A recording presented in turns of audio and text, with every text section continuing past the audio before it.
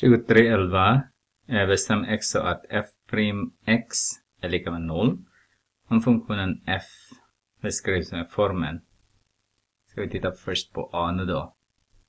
f av x är lika med x upphöjt till 2.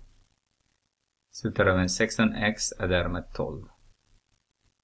Så f' x är lika med 2x så tar vi 16, 16. Och den skulle vara lika med 0.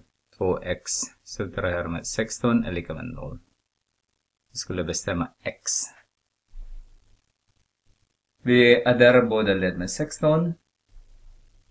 Så får vi, den här är 0, så har vi 2x är lika med 16.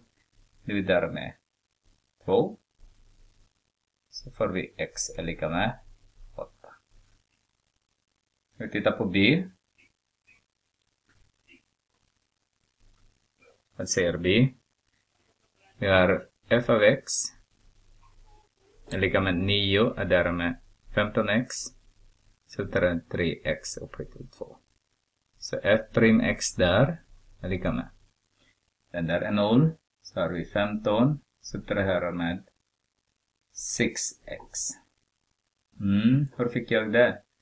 Ja då, så får jag Negativ 3 multiplicerar med 2 multiplicerar med x upphöjt till 2 så tar det med 1.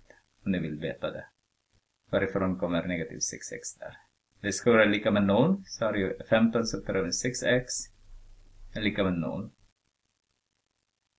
Och där har vi båda med 6x. Så har vi 6x dividerar med, är lika med 15. Dividerar med 6, dividerar med 6. Så x är lika med med 3 med 3, 5 halva. Eller 2,5 om, om ni vill skriva i decimalform.